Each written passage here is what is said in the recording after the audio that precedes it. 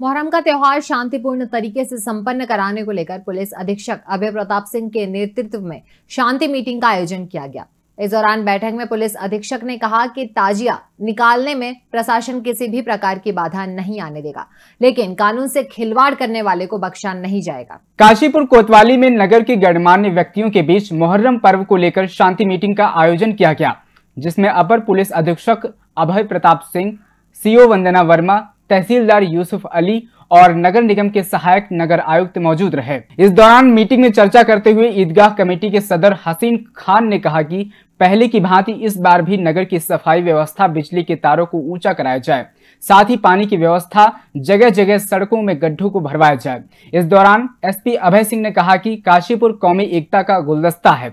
जिस तरीके से हिंदू, मुस्लिम, एकता का प्रतीक काशीपुर हमेशा रहा है, इसी प्रकार इस बार भी त्यौहार को बहुत शांतिपूर्ण तरीके से मनाया जाए।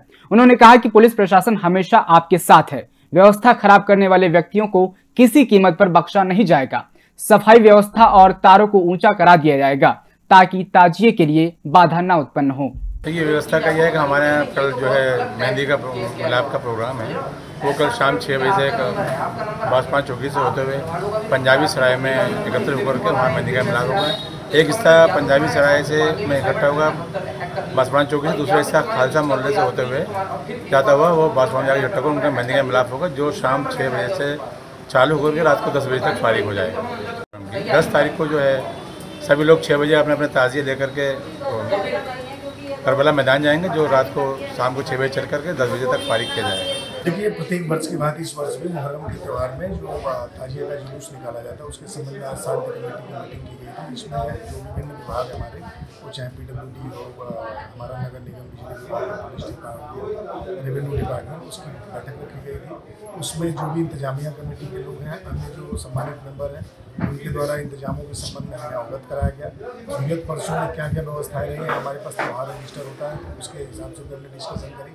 और इस वर्ष जो ताजिए की हाइट रूट और अन्य सुरक्षा इंतजामों को लेकर के व्यापक रूप से चर्चा की गई है। इंतजामिया कमेटी के लोगों ने भी कुछ समस्याओं से अवगत कराया है। कुछ जगह पे नए निर्माण हुए हैं, कुछ जगह पर बिजली हुई है।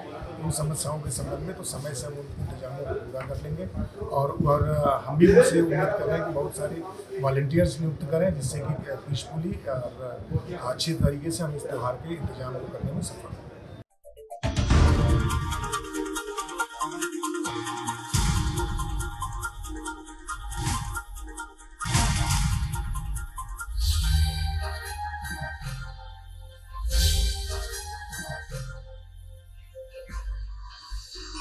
आप देख रहे हैं दखल न्यूज़।